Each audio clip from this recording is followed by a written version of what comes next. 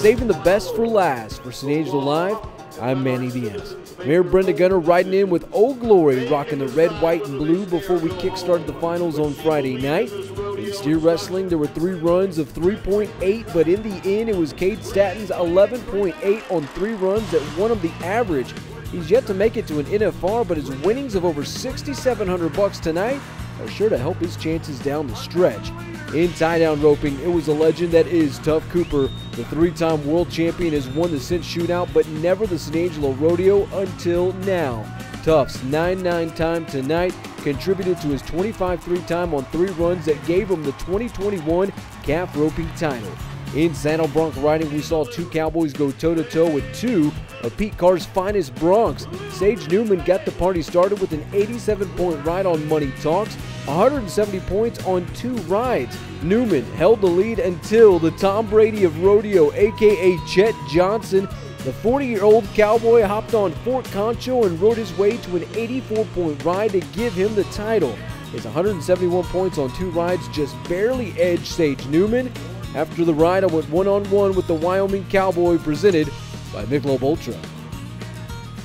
Well, we've seen this guy before, Chet Johnson. He's the old man of the rodeo of this 89th edition of the San Angelo Stock Show and Rodeo. This is Saddle Bronc Riding presented by Michelob Ultra. Hey, he scored an 87 earlier this week on Ver- Vertical Horizon. Tonight, it was an 84 on Fort Concho. Lo and behold, uh, from right here in San Angelo. Well, not not exactly, but the name itself uh, has some symbolism here. Chet, uh, tell me about this ride tonight. How pumped are you to score this horse?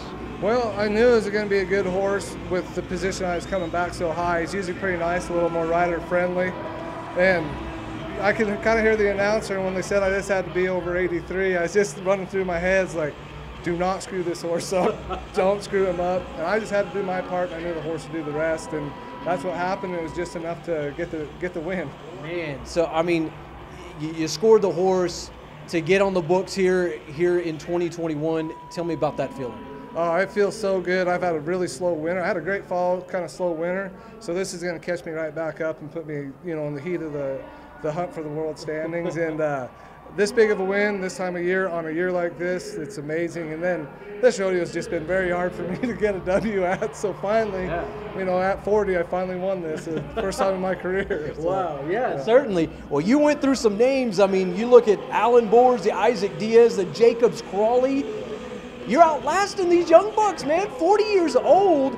How cool is that? To, I know you, you touched on it earlier in the week, and we call it, we referenced you as the Tom Brady, the guy that keeps on ticking. Tell us again how good this feels to just be still doing this at, at such a at your age.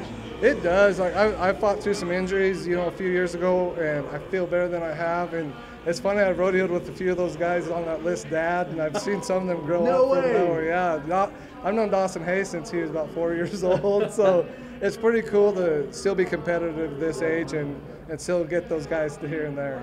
Well, that's that's awesome that you're you're and, and we talked about that earlier this week that you're riding against generations, riding with generations of stock and cowboys. So, all right, Chet Johnson, he is your Michelob Ultra Saddle Bronc Rider of the Night, notching an 84 tonight on Fort Concho. Man, congratulations, Chet. We look forward to seeing you down the road.